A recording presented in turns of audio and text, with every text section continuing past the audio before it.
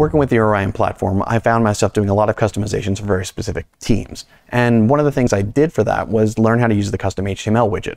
In those days, it was pretty easy to learn HTML, a little bit of code, paste in some information, and you're good to go.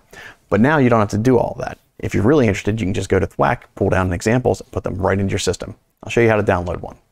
The custom HTML is available here in the Content Exchange on your Orion platform.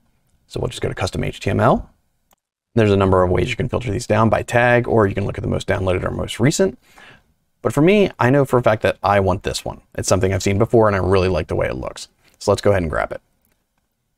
Click on the shared file, and then you can either copy out this text or just hit download. Now that the file's downloaded, let's go ahead and jump back over to the Orion platform. So to use that custom HTML, you can just go to customize my page, add widget, and search for HTML. There it is. Drag it anywhere on your page. Done. Done. Then you just click Edit. Open that file you downloaded in any text editor. Copy the contents. And paste it into the body. You should probably also give this a name.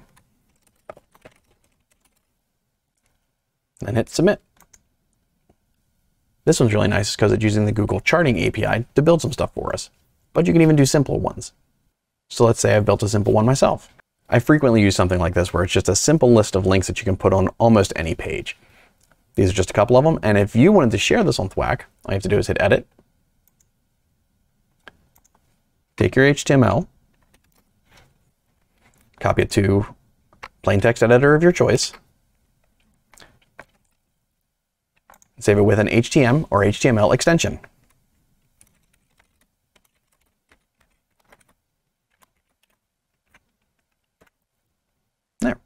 Now it's ready to share.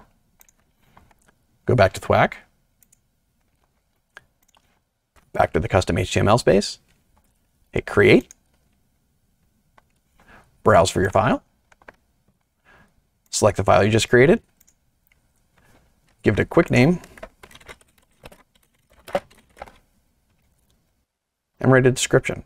For the description, we'll normally want something like a screenshot and a detailed written description. That just helps other people find it. And lastly, tag it so people can find it.